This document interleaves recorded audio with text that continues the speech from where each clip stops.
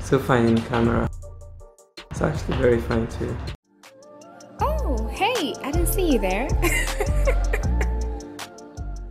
Hello everyone, welcome back to my channel.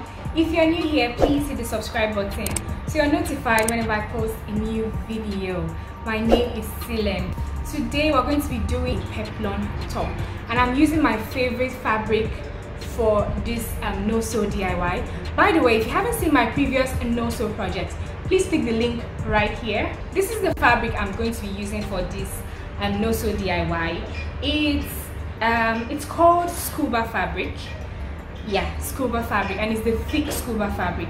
Yeah, this is my favorite fabric because whenever I use this fabric for my no-sew projects, I find that the videos have more engagement, so I don't know. I personally love this fabric and that's what I'm going to be using today. It's a solid fabric, meaning that there's no clear distinction between the right side and the wrong side. So both sides are identical.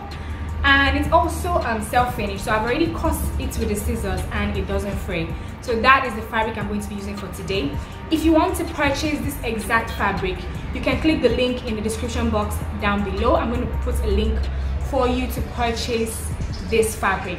So let's get into the video. Okay um this is the illustration that I'm going to use today. I just want you guys to really understand what I did. So the first thing I did was fold the paper in half and then I'm folding it yet again.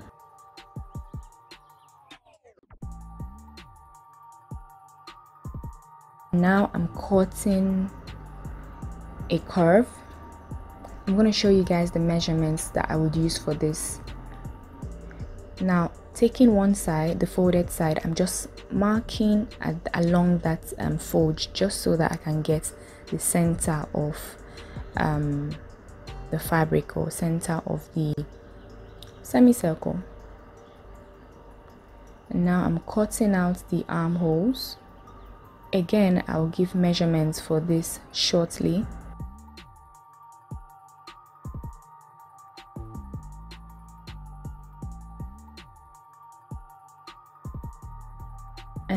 separating the fabric to make to make sure that I'm cutting only the top one and just cutting along that line I marked.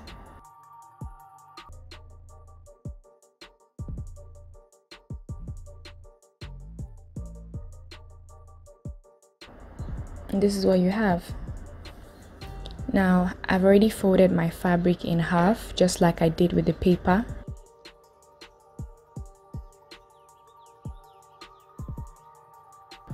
and now I'm folding it again.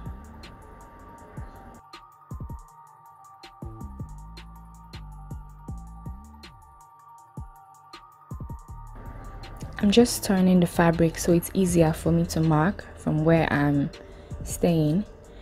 And now the length of this um, jacket's peplum top is 30 inches. And that's what I'm marking. So I just kept the zero mark static at the um, top left edge and then I'm moving the rest of the tape around or across the fabric.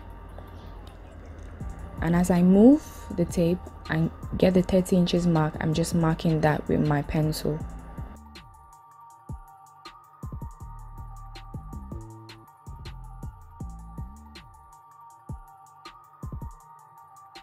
Now I'm cutting along um, that um, curved line that was created from marking that 30 inches um, across the fabric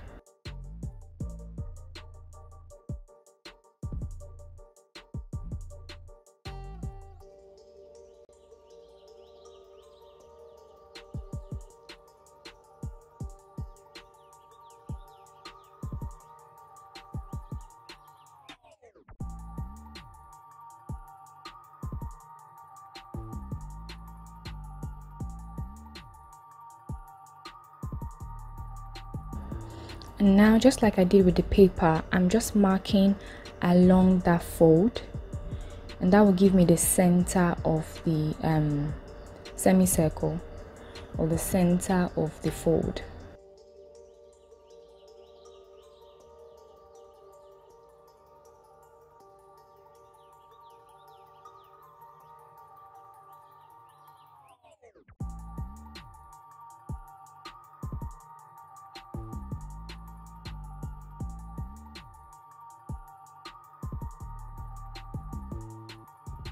so I'm just unfolding the fabric now. As you can see it it's definitely a semicircle.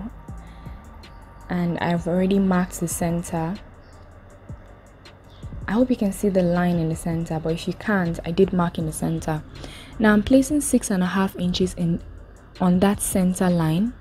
And then towards the left where my zero mark is I'm marking the zero uh, mark and then by the right I'm marking the 13 inches mark. Now this is the um my shoulder measurement actually. My shoulder is 14 inches but for this DIY I chose to use 13 inches. Now the length of my armhole is 3.5 inches and that's what I'm marking now. And I'm just tracing a line downwards. Marking that same length 3.5 inches at the other side as well and then tracing the line downwards. Now the width of my armhole is 3 inches and that's what I'm marking now. And I'm just connecting that um, those points basically. Again it's 3 inches so I'm marking at the 0 mark and at the 3 inches mark.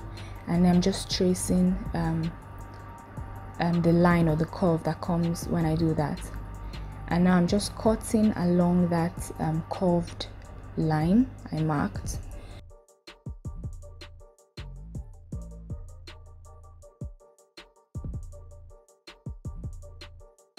And that will give me my um, armhole.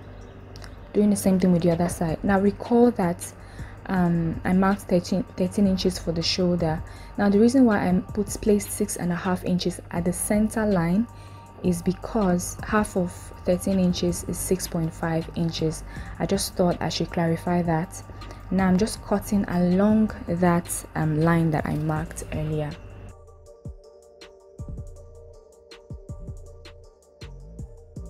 And this is what we have basically. So this is a jacket peplum top. I choose to call it a peplum top. I love how it looks when it's a peplum top i'm just cutting the belt now. I marked 60 inches for the length and the width of the belt is 2 inches. So i'm just marking that 2 inches all along the fabric.